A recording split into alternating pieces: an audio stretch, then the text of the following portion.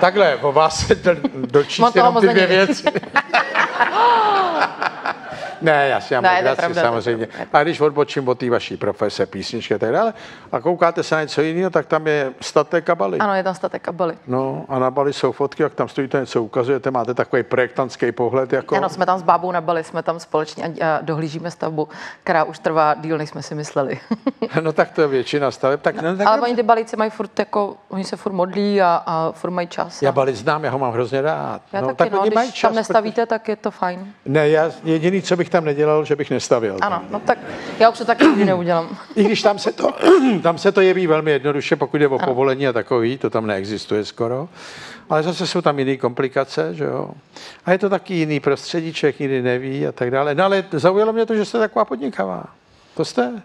A ten, ty jižní Čechy, to už opravujete teda?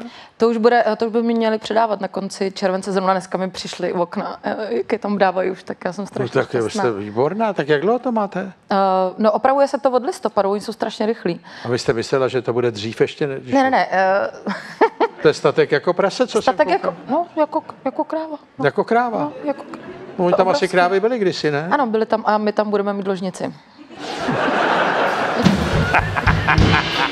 Jo.